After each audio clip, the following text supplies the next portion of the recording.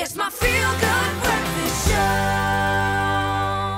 Welcome back. This is your Feel Good Breakfast show on a Thursday morning. It's Expresso on SABC3. Now, some rather sad news to report this early in the morning. The fact that the world's oldest man has unfortunately passed away. His name was Sakari Momoi, who was officially the oldest man alive, and he was 112 years old when he died. Born in 1903 in an area, uh, of course, of, of Fukushima, Japan, which was the same area that was hit by the tsunami and the nuclear meltdowns of about four years ago. But, I mean, what an incredible life one must have led to, to be 112. 112 Through eras. Um, Yeah. And unbelievable. We, we've often seen this that members of the society in this particular area do live incredibly long. And they reckon that it's got something to do with the kind of fish diet that they eat, the fact that they're getting um, the, a particular kind of, um, obviously, um, sustenance through the, yeah, acids, the, um, the, the right acids. kind of fatty acids. But that is incredible. 112 years old. That is crazy. But I mean, he- okay, let's just say he was not the oldest person. Yes, All right, yes. he's not the oldest person. There's a, there's a lady named Susannah Mushatt Jones. She's the oldest person in the world,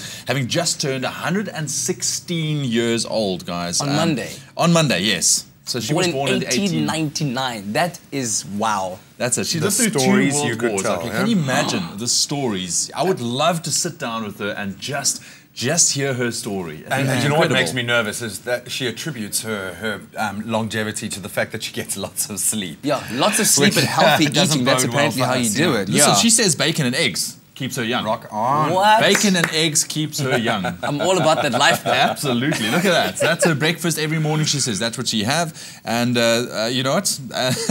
and there's also or throw in some cream sweet corn. She says. Yeah.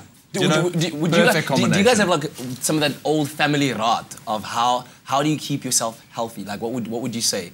Yeah, I don't know. I just know, like, like in terms of when it comes to like face washing regimes and that Yeah. kind of stuff. That's Wash your face yeah. with, with cold water. We're not saying I'll looking young, dude. That's, that's Yeah? you'd That's say right. family secret. You wash your face with cold water. That's it. That's it. it. That's Go- it. go for Look a how cold beautiful. swim Look every morning, yeah? It's beautiful, isn't it? That's madness, dude.